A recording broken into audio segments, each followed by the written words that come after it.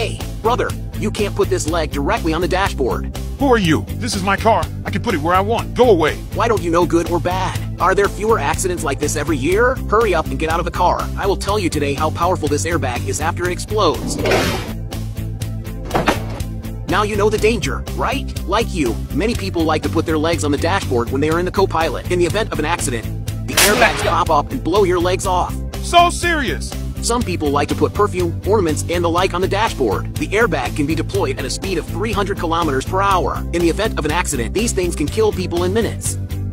Oh, if you don't tell me, I really don't know. It's not over yet. Come with me. Many people like to adjust their seats to the front when driving, then hold the steering wheel and drive. Alas, that's how I drive. This is very wrong. Whenever an accident occurs, this airbag is not life-saving. Because the space is too small, the power of the airbag explosion will directly hit your face, disfigure at life, life at risk. So dangerous. The correct adjustment method. First adjust the seat back. Keep the body and the steering wheel at an arm's distance. Our arms can naturally rest on the upper edge of the steering wheel. This is the safest. In the end, it is easily overlooked by many people. Let's never put a protective cover on the seat. In the event of an accident, it will also affect the normal deployment of the airbag, which is very unsafe. Wow, thank you so much. I didn't know these things were told to me before.